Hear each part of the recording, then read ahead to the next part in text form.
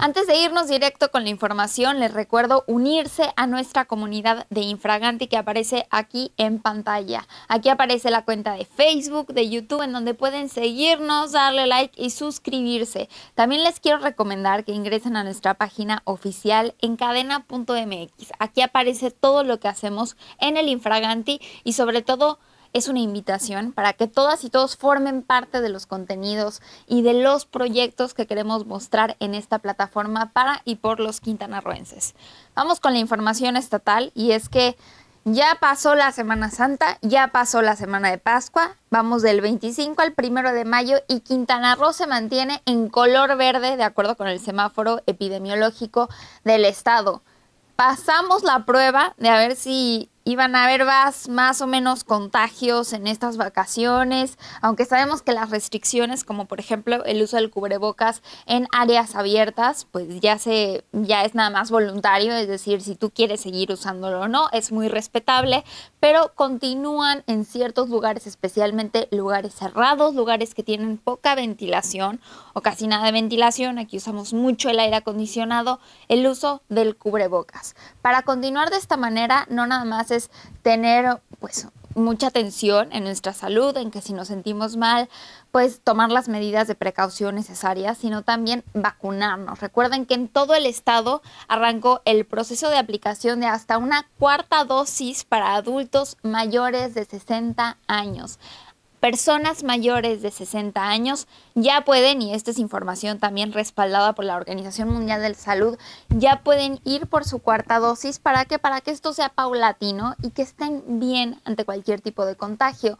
Además del tema de personal de salud, médicas, enfermeros, enfermeros y sobre todo las personas que aún no se han vacunado continúan con las fechas para rezagados, es decir, de 18 años en adelante, quien sea que lo necesite puede acudir, ya sea continuar con su esquema de vacunación o iniciarlo en estas alturas. Me esperaría que no fuera así, pero si es así, no pasa nada, pueden comenzar con su esquema de vacunación o o simplemente ir y ponerse los, los refuerzos correspondientes. Escuchemos la información que compartió el gobernador del estado, Carlos Joaquín González. Seguimos con nuestros procesos de vacunación, con la tercera dosis, dosis de refuerzo, ahora la apertura para adultos mayores y personal de salud de la cuarta dosis de vacunación, además de todo este programa de vacunación abierta que tenemos casa a casa punto a punto en los diferentes municipios del estado. Los 11 municipios del estado tienen procesos de vacunación abierta con el mínimo de requisitos. Acudan a vacunarse quienes no se han vacunado de la primera, de la segunda o de la tercera dosis, no importa cuál haya sido la marca que se hayan aplicado, hoy es posible aplicarse la AstraZeneca, que es la que se está ofreciendo en prácticamente todos los destinos y acercándola a los diferentes poblados, a las diferentes colonias, para que la gente pueda ir a los centros de salud, hospitales, unidades de, salud familiar, del IMSS, del ISTE, los centros de salud de CESA, los hospitales de CESA y también en hoteles, en poblados, en domos, en aeropuertos, en centros comerciales, donde se está aplicando la vacuna en búsqueda de poder generar un mayor número de personas con mayor prevención al COVID. Hay que seguir cuidándonos, recuerden, voluntario en espacios abiertos el uso del cubrebocas, obligatorio en el transporte público y también en espacios cerrados.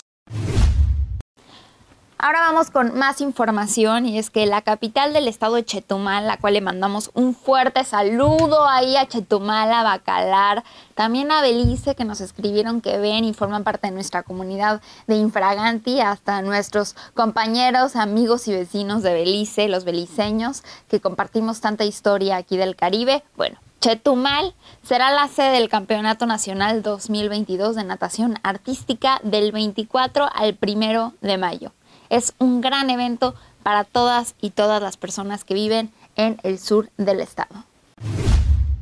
Chetumal es sede del Campeonato Nacional 2022 de Natación Artística. 500 atletas en tres fases, incluyendo la Selección Nacional de México y tres equipos colombianos. El torneo de clase A es clasificación para los Juegos CONADE y terminará el próximo domingo primero de mayo con el aval de la Federación Mexicana de Natación, donde participarán atletas de 35 clubes deportivos de todo el país y nadadores invitados de Colombia. Por primera vez tenemos la participación de atletas internacionales en un campeonato nacional, que es el caso de Colombia. Ellos nos pidieron estar en la competencia porque también se encuentran en el proceso de definir su selección y el que vengan aquí a seleccionarse significa que confían en México, en el trabajo que se está haciendo, destacó Evelyn Guajardo, coordinadora técnica de natación artística de la Federación Mexicana de Natación.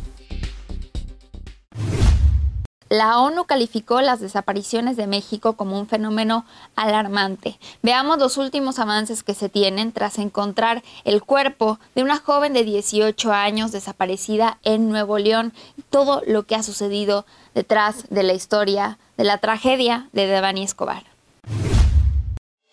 El caso de Devani Escobar no deja de enrollarse. La aparición de tres videos del motel Nueva Castilla donde fue encontrado el cadáver de la joven da nuevas pistas de lo que pudo ocurrir la madrugada del 9 de abril. La Fiscalía de Nuevo León había asegurado en múltiples ocasiones que las cámaras del hotel no guardaban las grabaciones porque solo monitoreaban a tiempo real. Sin embargo, el domingo por la noche el fiscal mostró a la familia imágenes donde supuestamente se ve a Escobar entrando sola al recinto y caminando en el interior del inmueble. Los videos no resuelven cómo acabó el cuerpo de la estudiante de 18 años dentro de una cisterna abandonada. La fiscalía no ha comunicado detalles de las nuevas grabaciones, pero el padre de la joven, Mario Escobar, ha dicho este lunes que se le ve en dos ocasiones sin que se vieran más detalles de lo que ocurrió después. En cámaras de seguridad también se confirmaron las declaraciones de su padre sobre que la joven fue víctima de acoso, motivo por el cual abandonó el vehículo que ofrecía el servicio de taxi por la aplicación la noche que desapareció. El vicefiscal del ministro público de Nuevo León, Luis Enrique Orozco Suárez, informó que hallaron el celular de Devani que se encontraba sumergido en el agua, pero no junto al cuerpo de la joven.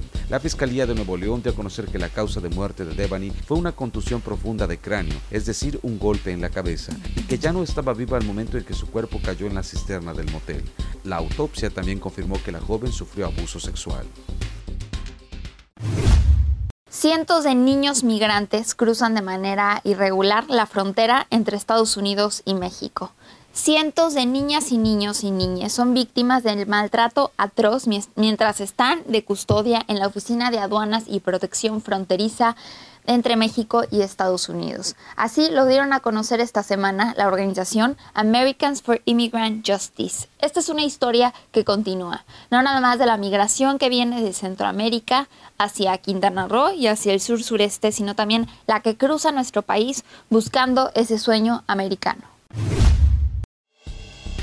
Una investigación realizada por la organización Americans for Immigrant Justice mostró que el 70% de menores migrantes que ha entrevistado y fueron detenidos por la Oficina de Aduanas y Protección Fronteriza de Estados Unidos indicaron haber experimentado condiciones de abuso durante su estancia en estaciones fronterizas para niños no acompañados. El reporte asentó que los niños con los que la organización habló dijeron haber sufrido detenciones excesivas, abuso verbal y físico, incluidos golpes de los agentes, privación de atención médica, carencia de alimentos y de agua, en espacios con bajas temperaturas y falta de mantas para cubrirse y otras violaciones a derechos humanos. Frente a esto, All Justice presentó una denuncia administrativa ante el Departamento de Seguridad Nacional, en la que detalla el incumplimiento de la Oficina de Aduanas y Protección Fronteriza de Estados Unidos de sus propios estándares en transporte, escolta, detención y búsqueda de niños no acompañados.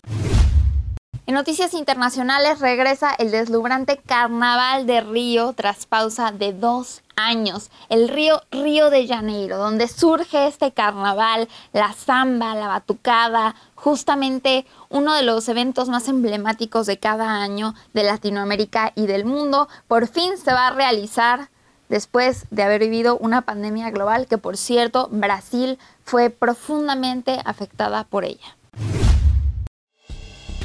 Las mejores escuelas de samba de Río de Janeiro iniciaron sus desfiles del carnaval, el primero después de una pausa de dos años debido a la pandemia de COVID-19. Las coloridas carrozas de las escuelas y los vistosos bailarines comenzaron a ingresar el viernes por la noche al Zambódromo para desfilar ante decenas de miles de aficionados en la primera jornada de las dos con que cuenta el espectáculo. El Zambódromo de Río ha sido la sede del desfile desde la década de 1980 y es un símbolo de las festividades del Carnaval de Brasil. Durante la pandemia fue albergue para más de 400 personas sin hogar y también sus usó como estación de vacunación. Brasil confirmó sus primeros casos del coronavirus a mediados de marzo de 2020, justo después de que las festividades del carnaval de ese año llegaran a su fin. La edición de 2021 fue cancelada rápidamente debido al incremento en los contagios con la variante Delta. Más de 663 mil personas han fallecido a consecuencia del COVID en Brasil, el segundo total más elevado del mundo, según el sitio de investigación en línea Our World in Data.